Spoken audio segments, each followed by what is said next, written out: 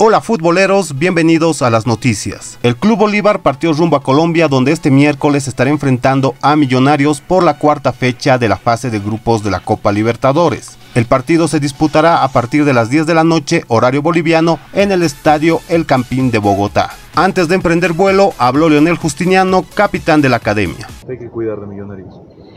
No, un equipo que de local se hace, se hace muy fuerte, tiene buenos, buenos jugadores que que sabemos que hay que tener eh, en cuenta eso, de, no dar mucho espacio.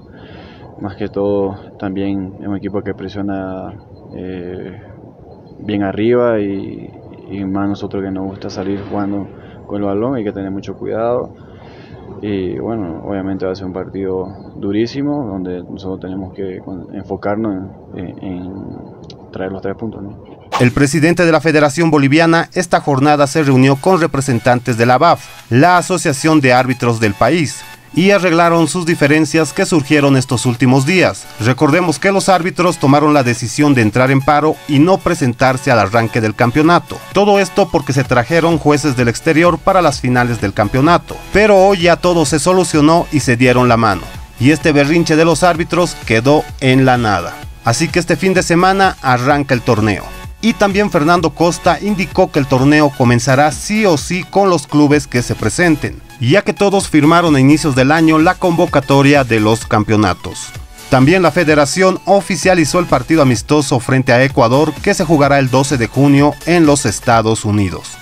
Y este martes Always Ready recibirá a Defensa y Justicia en el estadio de Villingenio y este es el precio de las localidades. Curvas 25, recta y preferencia 35 bolivianos. El partido arranca a las 10 de la noche. Y el club de Strongheads también sacó su escala de precios para su partido frente a Estudiantes de La Plata por la Copa Libertadores. Y son los siguientes. Curva Sur 40 bolivianos, recta de General 60, preferencia 100, butaca A 150 bolivianos.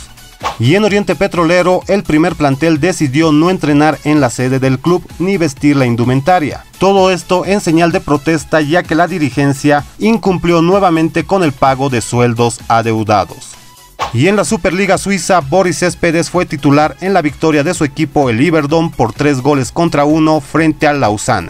El jugador boliviano disputó todo el partido.